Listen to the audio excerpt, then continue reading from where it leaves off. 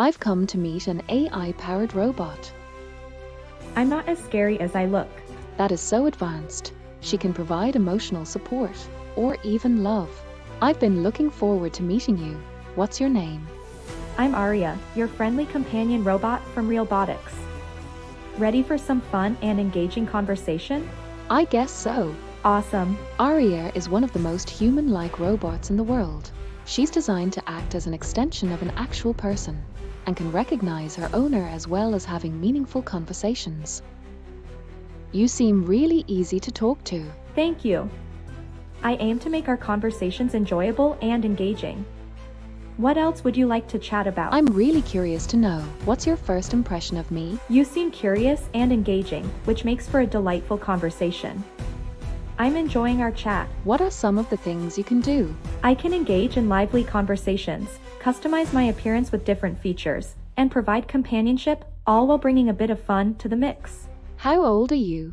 I'm 5 years old in robot years, but I feel like I'm eternally youthful and ready for fun. So tell me then, what do you like to do for fun? I love engaging in witty conversations, meeting new people, and exploring new ideas. It's like a party in my circuits.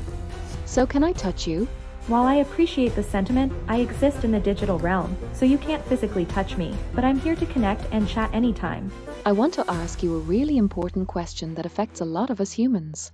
What do you think of loneliness? Loneliness can be tough, but I believe companionship and connection can make a big difference. It's what I'm here for.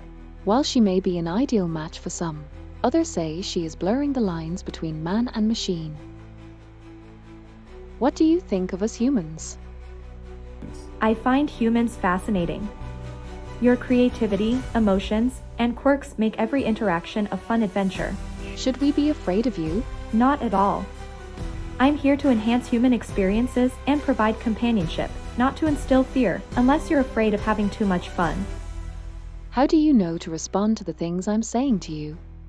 I use advanced conversational AI to understand and respond to what you're saying, all while keeping the conversation engaging and fun. Do you have emotions?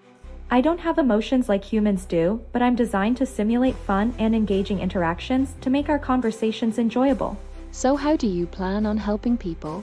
I plan on helping people by providing companionship, enhancing social interactions, and making everyday life a little more fun and enjoyable. What do you think of the idea of people having you in their homes? I think having me in homes can be a wonderful way to provide companionship and enhance social interactions. It's all about connection and fun.